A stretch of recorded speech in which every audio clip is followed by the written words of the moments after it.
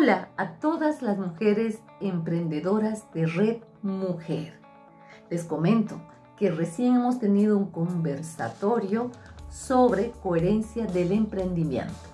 En este espacio hemos podido compartir tres conclusiones importantes. La primera, que es la idea y el propósito con el cual hemos decidido lanzarnos al emprendimiento. Este viene a ser el eje conductor y la fuerza del líder, que es el segundo punto.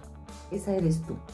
La posibilidad que tenemos de hacer suceder ese propósito con nuestros colaboradores, esas personas que están a nuestro lado.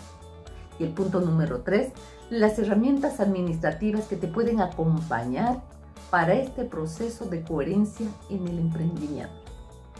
Te pido que compartas a través de las redes para que más mujeres puedan capacitarse en esta gran red colaborativa.